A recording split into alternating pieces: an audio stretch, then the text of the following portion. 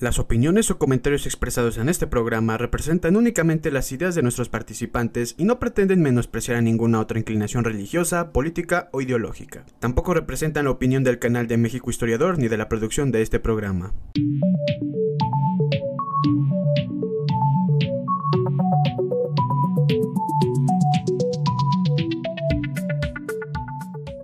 Bienvenidos una vez más a Más Allá de la Historia. Hoy tengo eh, la dicha de, estar acompañado de personas que ustedes, algunos de ellos ya conocen, que son la Reinita y Mundo Monárquico. Pero hoy también nos acompaña alguien muy especial que es Jonathan Iglesias. Eh, alguien que en lo personal creo que es una persona que es muy inteligente porque sabe un montón de, de las eh, familias imperiales y reales y que pues es un gusto tenerlo aquí. Así que bueno, gracias por, por venir a todos. Hola, ¿cómo están? Hola, ¿qué tal? Hola. Por participar aquí. Gracias por la invitación.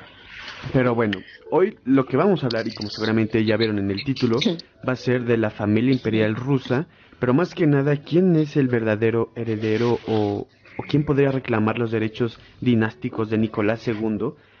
que comúnmente se conoce como el último zar, aunque, bueno, depende a quién preguntes, te dirá que también pudo haber sido su hermano, Miguel, pero bueno, por eso vamos a discutir aquí con, con estos eh, amantes de lo royal, quién creemos que debería o no ser el heredero pues legítimo de los eh, de la familia Romanov. Y rápidamente, pues como sabemos, eh, la familia Romanov cayó tras la revolución rusa.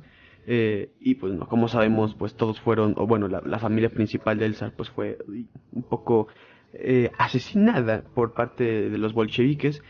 Y recordemos que la familia Romanov era muy grande. A ver, ¿qué, ¿qué nos pueden decir de algunos miembros? Pues a lo mejor no tan comunes de la familia Romanov. A ver, por ejemplo, Jonathan, ¿qué nos podrías decir? De, bueno, la familia imperial era una familia muy extensa y, y como toda familia extensa tenía personajes muy, muy, muy peculiares. Por ejemplo, estaba la gran duquesa Anastasia Mikhailovna, que estaba casada con el gran duque de Mecklenburgo-Strelitz, que estaba, estaba loca. Cuentan las crónicas que ella llegó a tirar a su marido por un balcón y lo mató. Y luego había otros tipos de personajes, como por ejemplo un personaje que me da mucha pena, que es el gran duque Constantino Konstantinovich, que es el padre de todos estos Konstantinovich que mataron en, a la Payés, en julio del 18 también y él era un poeta, que le llamaban KR, era homosexual, pero aún así tuvo nueve o diez hijos. sí, no, me, parece que fue con esta Isabel de Sajonia Altenburgo, algo así me, recuerdo haber visto por ahí, pero sí, sus, sí había leído que sus hijos, muchos murieron en estas purgas eh, de los ah, de los bolcheviques. Eh, a ver, mundo monárquico, ¿tú, ¿tú qué nos podrías decir de los Romanov actuales o antiguos? Bueno, los antiguos creo que siempre se puede destacar más que todo eh, a Catalina la Grande, esta princesa alemana que llegó a hacerse con el trono de Rusia, sacó prácticamente el poder a su esposo Pedro III. Y bueno, ya de ahí para abajo podemos continuar la línea dinástica, llegando a Alejandro II, que pues era un gran reformista, pero no pudo llegar a implementar todas esas ideas que tenía, ya que fue pues asesinado. Tuvo inclusive, si no me equivoco, antes un par de intentos de asesinato también. Y ya finalmente llegará Nicolás II, todos sabemos pues la historia, todo lo que pasó, el destino igual tan horrible que tuvieron sus, sus hijas, su hijo. Y ya pues hay que desviarnos un poco en el árbol genealógico para llegar a lo que podríamos llamar hoy día pretendientes al trono ruso, es decir, los descendientes de, de Alejandro II, eh, por el lado del gran duque Nicolás, del gran duque Vladimir, y ya de ir bajando hasta la actualidad. Sí, ¿no? Porque son, son muchos, eh, pues Romanov. De hecho, recuerdo que les eh, mostré por ahí algún árbol genealógico de las casas reales de Europa pero no había tenido ninguno tan extenso como los Romanov. Eh, a ver, eh, la reinita, dinos quién. ¿Tú, qué opinas de los Romanov? ¿Quiénes son? O, o, a ver, tú háblanos. Bueno, yo considero que los Romanov aparte de ser una familia imperial que cae en desgracia, en la desgracia de esta idea de que había que deshacerse de todos para que el comunismo pudiera resurgir, en este punto ya son casi santos. Digo, simplemente este, tienen su propia iglesia en donde están los restos que se pudieron encontrar. Eh, pero siempre los han envuelto, siempre han estado envueltos en esta aura de tristeza, de tragedia, de lo que pudo haber sido. Por decir, si Jorge V los hubiera ayudado, lo que pudo haber sido, como comentaba Jonathan en su libro, si alguien más los hubiera rescatado. Entonces, toda la, para mí en un punto, después de lo que sucede con, con el zar, todo el resto de las ramas es, una tragedia y no sabes hacia dónde voltear de lo grande que es, de lo afectada que se vio y cómo literalmente termina borrada en una noche toda la historia de lo que hicieron. Sí, ¿no? Porque eh, pues justamente desaparecen con estas grandes purgas un montón de, pues no sé si llamarlos eh, eh, a cierto modo, o a grosso modo más bien, como pretendientes a la corona, porque pues como sabemos, el zar Nicolás II y su esposa Alejandra Fidorovna, pues les costó trabajo crear al zarevich, eh, que estaba para variar enfermo y que pues no sabían si se iba a llegar a una edad adulta para poder ser pues los próximos zares. Así que como sucedió realmente, yo, yo pienso que de haber sobrevivido a la guerra civil, a lo mejor Miguel II de Rusia, que de alguna manera sí fue el último verdadero zar, que fue hermano menor de Nicolás II, eh, no se pudo haber reinado. Pero la historia tiene sus, sus libros ya escritos para ver cómo se va a desarrollar el destino de los personajes. Y hoy en día pues tenemos un montón de pretendientes al trono de la corona rusa que alegan juntos de no, que sí soy yo, que no soy él.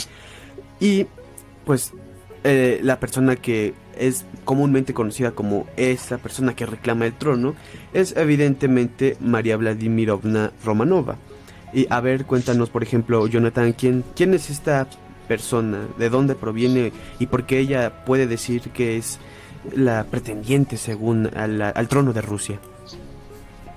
Bueno, ella, claro, ella viene de, de la rama de los Vladimirovich ella desciende en línea recta del gran duque Vladimir, que era hijo de Alejandro II, es decir, hermano de Alejandro III y por lo tanto tío de Nicolás II.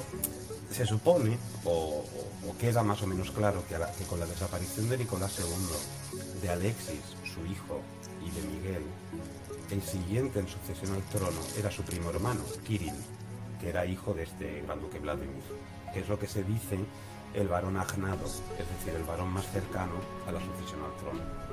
Y ella viene de ahí. Kirill se casó en un matrimonio muy, pero muy controvertido con, eh, la, bueno, con Victoria Melita, que luego pasó a ser eh, la gran duquesa Victoria Fiodorovna, y en familia la llamaban Daki, que ella era hermana, por ejemplo, de, la reina Misi, María de Rumanía, o de aquí de España, de la infanta Vi, casado con, casada con un hijo de la infanta Eulalia.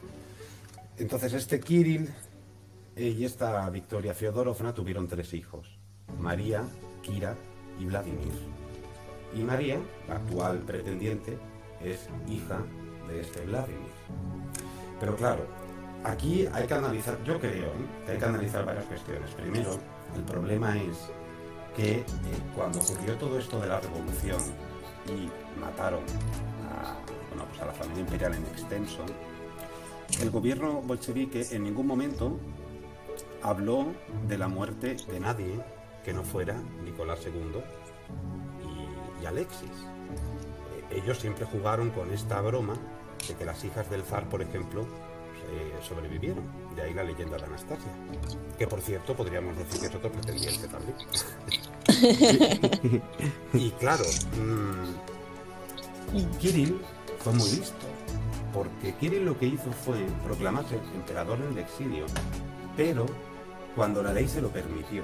Es decir, como no había una prueba fehaciente de la muerte de Nicolás II por ningún sitio, él se proclama emperador en el exilio cuando ya la ley determinaba que con la desaparición durante tanto tiempo de alguien se le declaraba muerto. y su, digamos, su peso fuerte fue con la muerte de la emperatriz viuda de la madre de Nicolás II en 1928. Pero claro, el problema es que mm, yo personalmente eh, no creo que María, yo no creo que ningún miembro de la actual eh, Casa Romanov se le pueda llamar, pueden ser pretendientes, o pretendiente puede ser también mi vecina del tercero. Pero mm, con derechos al trono, actualmente yo no creo que haya ninguno que de verdad pueda ser. Yo creo que, igual que cuando se instauró la dinastía Romanov en 1613, hubo ahí ese cónclave donde se, habló de quién podía ser el zar y se lo dieron a Miguel I. Yo creo que si en algún momento Rusia se tiene que restaurar una monarquía, cosa que dudo mucho, tendría que ser una asamblea nacional quien decidiera quién sería el siguiente emperador. Sí, pues, Claro, tendría que ser un parlamento. Una duma. o una especie de colegio, no sé, de, príncipes. Podría ser. O de representantes del pueblo. Más que nada. Del pueblo, claro. Sí, porque además me, gustaría eh, analizar también estos personajes que igualmente se proclamaron emperadores de, de Rusia pues a la caída de, de o cuando ya más bien vieron que Nicolás II ya, ya no estaba, eh, que por ejemplo estaba pues por ahí investigando que su primo, que fue este pues personaje que medía de que casi dos metros, también fue proclamado como em, emperador de, de Rusia, me, me parece cuando ya pues, se había acabado, ya, bueno, ya una... Eh, momento muy temprano, casi a la revolución finalizada o algo así, que me parece que era él, eh, Nicolás Nikolayevich, eh, si no me equivoco, hijo del gran duque Nicolás. Sí, que, Nicolás, que medía dos metros. Ah, exacto, sí, que también fue proclamado pues, emperador. Eh, luego, como se murió sin descendencia, pues digamos, no, no, no sé bien si sí tuvo hijas o no, o, o nada más tuvo hijas, pero su hermano también Pedro Nikolayevich fue pues de alguna manera supuso que al su hermano morir sin descendencia digamos varonil y, fue proclamado emperador pues él dijo pues yo también quiero ser no de ahí su hijo Román Pietrovich también y su subsecuente hijo Nicolás Romanovich también. Eh, bueno sus dos hijos que incluso son los que ahorita vamos para allá eh, fueron miembros de la eh, asociación de la familia Romanov son los que se también, pues no proclamaron, pero sí se hacían llamar como los descendientes eh, legítimos para ser pretendientes a la corona. Pero, eh, ¿alguno de ustedes conoce, por ejemplo, la reinita algo sobre la asociación de la familia Romanov? A mí, yo no, eh, sí he leído un poco, no tengo mucho conocimiento. Lo que a mí siempre me llamó la atención es que tenemos a todos estos, como dices tú, aspirantes al trono. Hicieron esta asociación pero cuando se encuentran los restos, tienes que correr a Inglaterra para poder ligar el ADN de los restos. Nada más de ahí cuando yo lo vi dije, pues así como que tan descendientes de los romanos, no me van a venir saliendo que Felipe, duque de Edimburgo, que paz descanse, iba a terminar siendo más seguido que ellos, porque por la sangre nunca los pudiste sacar. Y sin ahondar mucho en la cuestión política, como decía Jonathan, ya cual, y como decías tú, ya cualquiera puede decir yo, yo soy descendiente o aspirante al trono Romanov. Estamos más cerca que de que Vladimir Putin se autonombre nuevo emperador de Rusia, nuevo zar de Rusia, a que cualquiera de ellos lo alcance. Sí, sí, sí. no, no, no, te digo, entonces la asociación de príncipes, no, yo voy más con la idea de que si algún día se instaurara sería el pueblo el que tuviera que hacer algo, que fuera una, una monarquía como la parlamentaria un poco parecida a lo que tenemos en Inglaterra. Claro. Y Mundo Monárquico, ¿tú conoces algo sobre esta eh, asociación? Sí, este, de hecho, justamente estos dos eh, príncipes grandes duques que estabas nombrando, eh, Nicolás y Pedro, ellos estuvieron además casados con dos princesas de Montenegro, bueno, cada uno, y de ahí es que desciende toda esta rama de la asociación de la familia Romanov, que es la que por así decirlo, contiende con las aspiraciones que tuvo en su momento Cirilo, en su momento el gran duque Vladimir, que se casó con una princesa de Georgia y que hoy en día reclama a María Vladimirovna y su hijo Jorge Mikhailovich. Esas son como las dos ramas que están, digamos, enfrentadas para aspirar al trono de uso, pero sí es cierto que suena bastante utópico que alguna de las dos ramas pueda llegar a su objetivo, ¿no? De que tengan un zar. Sí, y justamente eh, abundando yo un poquito más en esta cuestión de, esta asociación de la familia Romanov, estaba viendo que, bueno, estos príncipes o grandes duques o, simplemente estos dos personajes, pues fallecieron y de alguna manera, eh, pues no dejaron eh, dinastía, pues varonil, porque si seguimos estrictamente las reglas de, de la familia Romanov y su sucesión, pues únicamente pueden acceder las mujeres hasta que pues ya no haya, por así que ni uno solo varón. Pero me parece curioso entonces que la, la presidente de la Asociación de la Familia Romanov es un, eh, una mujer llamada Olga Andrievna Romanova, que también tiene conflictos con los siguientes, bueno, con María y con otros pretendientes al trono. Y al final, pues creo que esto ya se está volviendo una, pues, revolución de yo puedo ser y tú no porque mi matrimonio es menos morganático que el tuyo, casi, casi. ¿Qué, opinan, por ejemplo, de... de Ajá. Sí, bueno, que, que ya, pues, creo que no hay una un descendiente directo que no sea no morganático. Me parece que hay uno. Ahorita, ahorita voy a recordar un poco más de, sí, él. sí, ¿no? Ajá. A la muerte de los Romanov, bueno, la muerte de la familia de Nicolás II, ¿no? Y decimos, y de sus primos en la revolución, quedaron cinco líneas. La línea del gran duque Vladimir, la línea del gran duque Pablo, que era su hermano, la línea de Constantino Nikolayevich, la línea de Nicolás Nikolayevich, estos dos eran hijos, eh, perdón, hijos de Nicolás I, y la línea del gran duque Mijail, también de Nicolás I. Y todos los Romanov que quedan descienden de ahí, de esas cinco líneas. Por ejemplo, eh, el problema que hay es que, siguiendo las leyes paulinas, que son las leyes de sucesión al trono, las mujeres no se reconocen primero los matrimonios morganáticos, y luego está el polémico tema de las mujeres. Entonces, claro, matrimonios morganáticos hay un montón. Casi toda esta familia está llena de matrimonios morganáticos. Y si nos basamos en, matrimonios, digamos, que, no sean morganáticos, tenemos por la rama de los Leiningen a Karl Emich, que es el que está autoproclamado Nicolás III. Este señor es nieto de María Kirilovna, que es hija de Kirill o de Cirilo. Es decir, este señor es eh, nieto de Cirilo. Y sí que de ahí, él sí que es hijo o sea, digamos, descendiente entero de, una rama regia. No hay un matrimonio morganático. El problema es que viene de una mujer. Sí, sí que hay, pero no. Por ejemplo, luego están los Hohenzollern.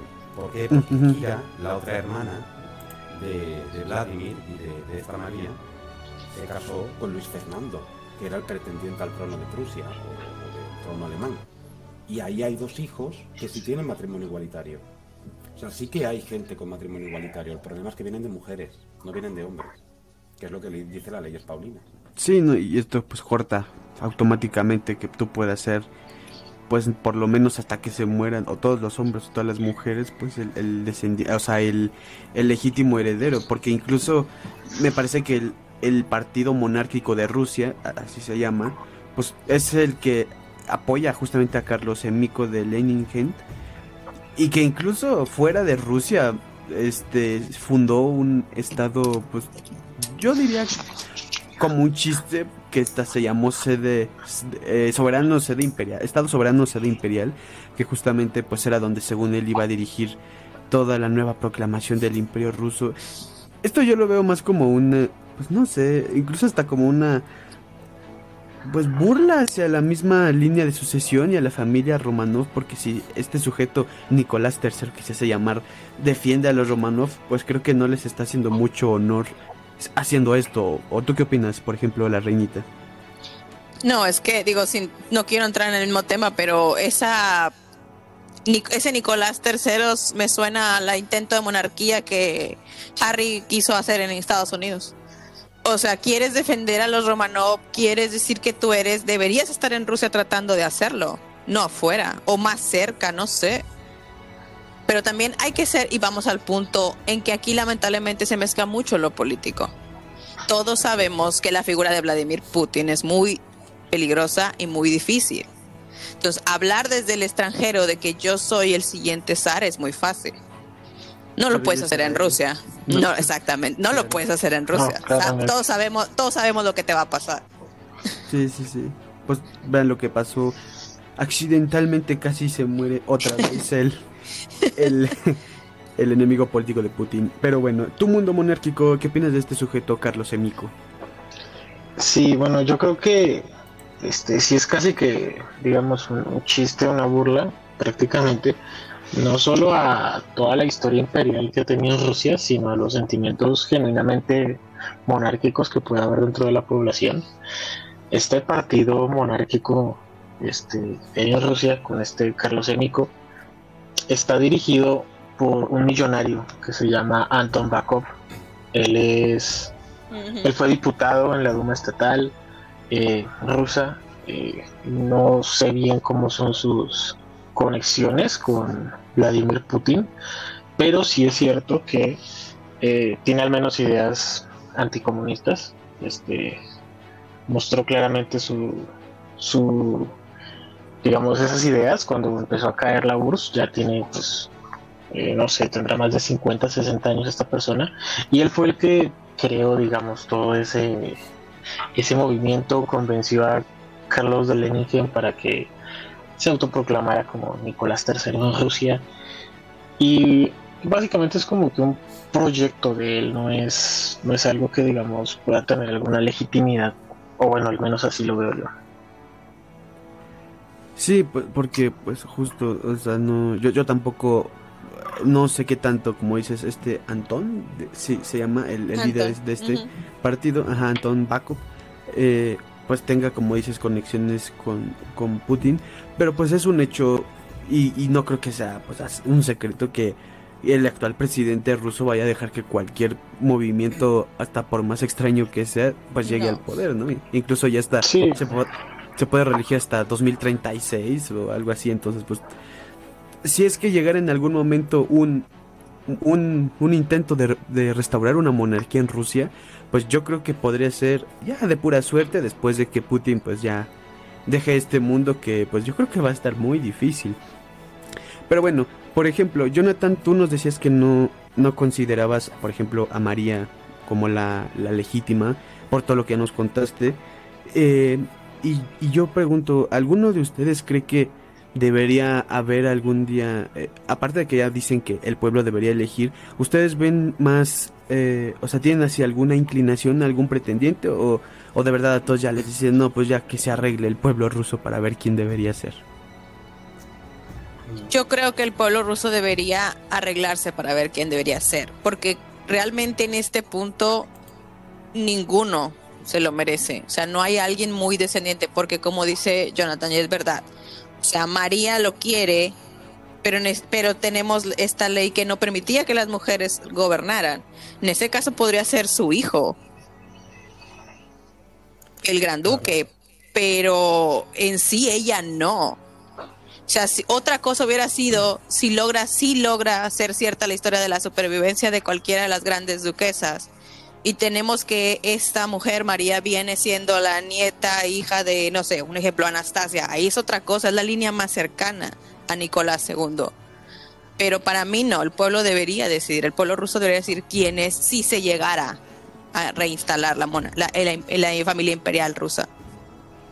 Claro, yo, yo opino igual. yo, yo tengo mi opinión muy, muy particular.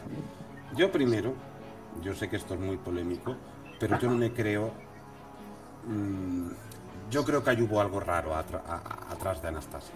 Yo siempre he pensado que ahí hay más leña que cortar, pero bueno, eso es otra historia. La, propia revolución rusa no estalla por obra y gracia del Espíritu Santo. Es decir, eso estalla ahí porque Nicolás y estos Romanov eran incapaces de gobernar ese vasto imperio, porque eran totalmente incapaces.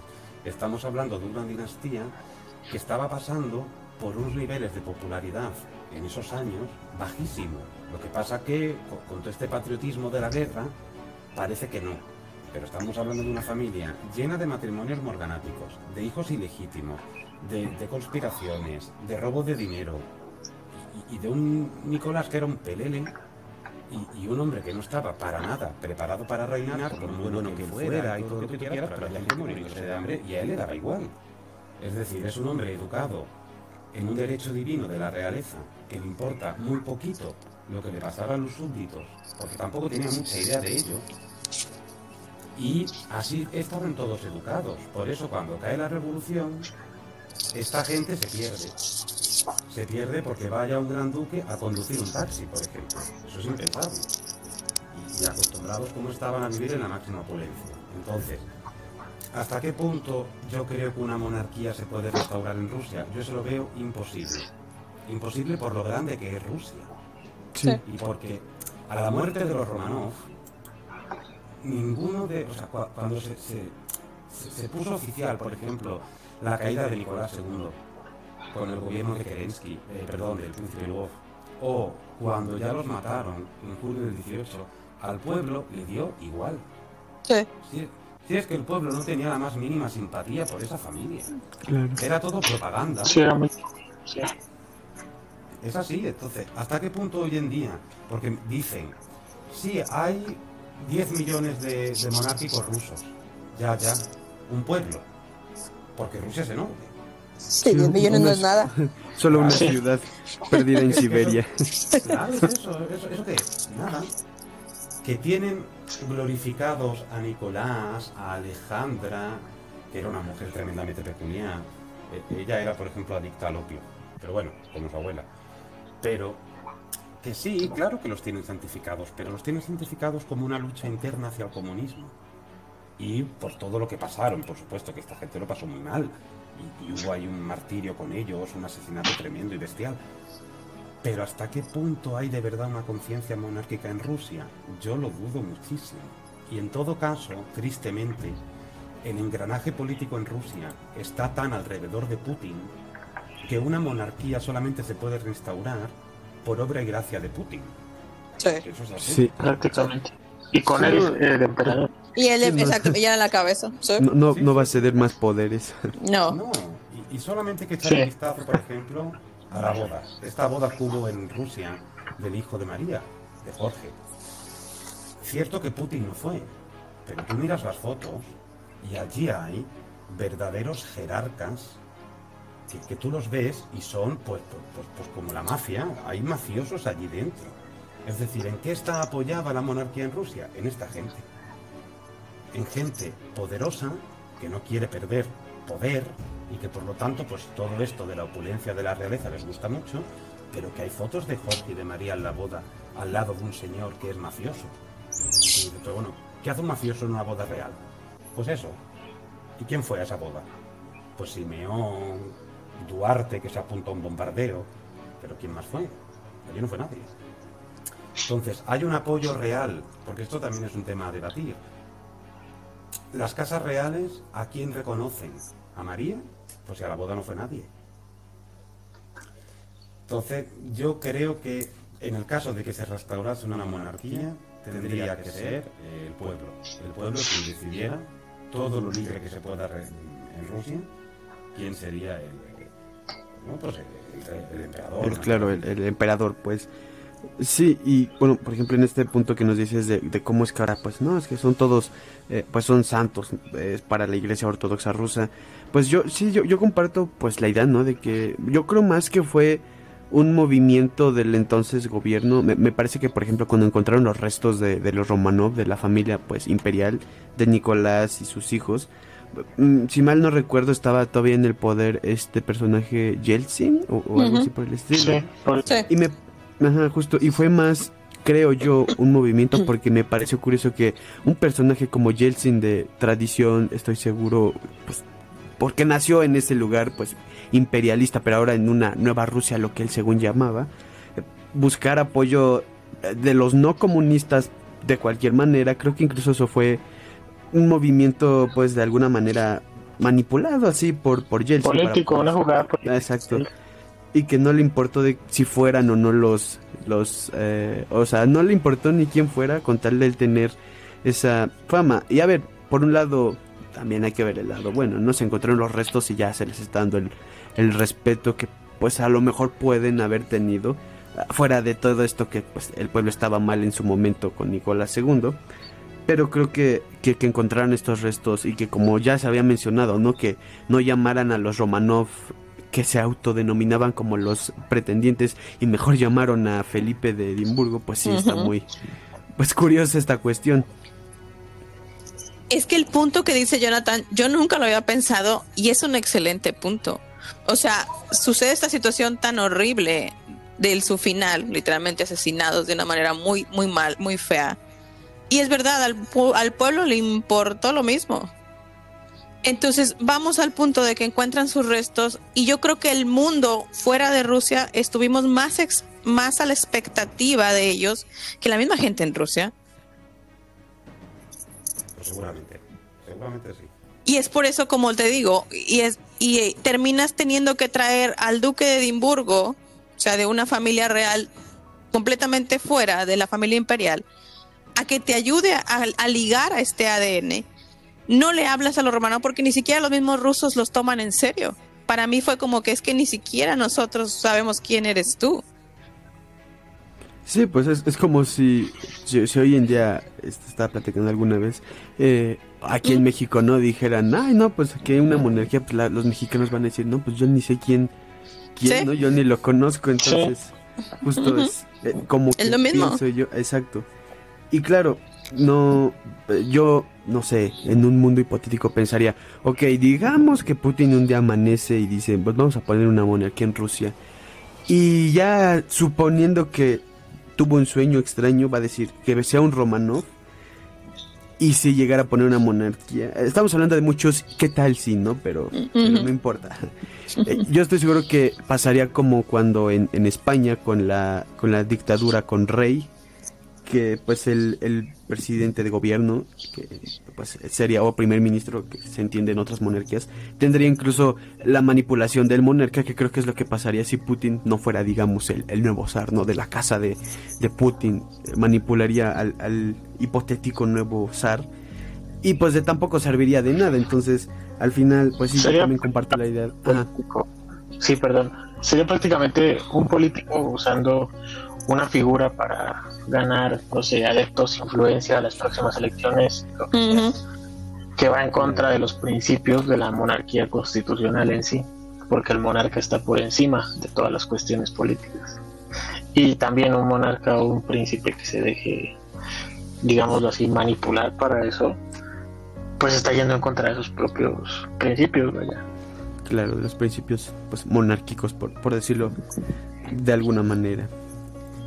Em, Sin contar que estamos hablando de gente que no creció preparada para un puesto como ese. Que no, que no tiene, es que no tiene los fundamentos, que no tiene eh, esta idea de yo por mi pueblo. O sea, estamos hablando de alguien que literalmente se dio un títere, una figura nada más ahí bonita. No, incluso ya pues, está educado. Bueno, todos estos romanos viendo cómo se, desenvuelven las cosas, están más educados bajo una eh, premisa de, empresarios millonarios. Muchos, por ejemplo, ay, es que mi papá tenía mucho dinero y ahora ya soy yo el que lo tiene. Así yo lo siento, porque al final yo no, si bien, por ejemplo, según la asociación de la familia Romanov tiene caridad y lo que tú quieras, pues es la propia asociación la que lo hace. No sé qué tanto esté metido, por ejemplo, la actual Olga, que es la, la presidenta, Olga Romanova, que diga, ah, no, si por mí que me nazca hacer el, el la, vaya a dar todas estas ayudas, todas estas ayudas a las personas y qué tanto pues en verdad lo hace la gente que trabaja en, aquella asociación, porque no es nada más de que estén tres príncipes rusos y manejen toda la, la asociación. Pero pues sí, me, parece que es un, un tema muy eh, interesante pero pues ya se nos está pues terminando el tiempo, así que pues primero que nada me gustaría agradecerles a los tres por, por venir, eh, por aceptar la invitación y, y, una disculpa por los problemas que surgieron porque al final está, estas maneras de, de, de grabar los programas eh, son un, poco difíciles de llevar a cabo, pero se pudo. Qué bueno que se pudo. Así que gracias Jonathan, la reinita y mundo monárquico por, por venir. Eh, no sé si gusten decir algo. Eh, no, gracias por, por, invitarnos. Claro, sí, gracias por invitarme. Yo, yo encantado de estar aquí. Sí, y bueno, eh, de nuevo, eh, qué bueno que, pudimos eh, charlar sobre esta, este tema que es muy interesante y que solo hemos rascado la superficie de todo lo que viene de cada miembro de la familia Romanov, que son un montón, que, sigo sin poder creer que fueron tantos Romanovs que, pues, para empezar, muchos murieron en la revolución, que eso es algo triste porque que pues pues sí es feo como, como muchos de ellos murieron, pero imagínense si no se hubieran muerto tantos Romanovs hoy, ¿cuántos más príncipes tendríamos reclamando el trono? Así que bueno, no sé si gusten dejar alguna eh, red social o, algún ah, o cualquier cosa antes de, de terminar. Bueno, ya saben que a mí me encuentran como la Reinita 70 en Instagram y mi canal de YouTube, La Reinita Opina. Sí, yo igual. Yo soy en Instagram el cronista de la corte y en YouTube igual, el cronista de la corte. Muy bien. ¿Y Mundo Monárquico? Y bueno, a mí me cuentan como Mundo Monárquico en Instagram, solamente ahí por ahora. Bueno, de cualquier manera en, eh, van a estar apareciendo, eh, pues evidentemente en la pantalla sus, sus Instagrams. También los vamos a dejar en la descripción para que vayan y les los, los sigan y les den like a todas sus fotos porque de verdad es, eh, las monarquías son un tema que para muchos es, les da igual y para otros no los ven con buenos ojos, pero en verdad es un tema fuera ya de decir soy monarquista o solo admiro a los royals, pues son temas diferentes, claro.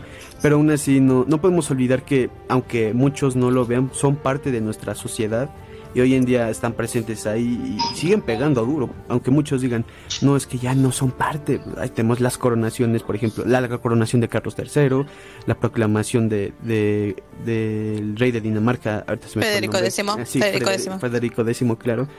Y es un hecho que viven entre nosotros los Royals. Bueno, viven entre nosotros, como decir, no es que vivan al lado de, mí. Obviamente viven en sus palacios, pero aún así son parte de nuestra sociedad y no, no podemos ignorarlos. Pero bueno, eh, de nuevo, si les ha gustado, dejen su like si llegaron hasta acá. Eh, compartan el, el, pues no sé, video o audio para que más gente lo, lo escuche, vea.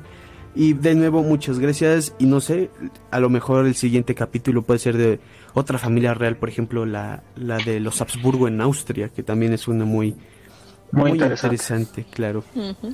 Así que bueno, de nuevo, eh, gracias. Así que pues eh, esto ha sido más allá de la historia en su, no sé ya ni qué capítulo es, por ahí ya verán en el título. Pero bueno, gracias por venir y de nuevo, eh, pues sí, creo que ya. Así que nos vemos en el siguiente programa de Más allá de la historia. Y ya saben, aquí México Historiador. Hasta luego. Bye. Bye.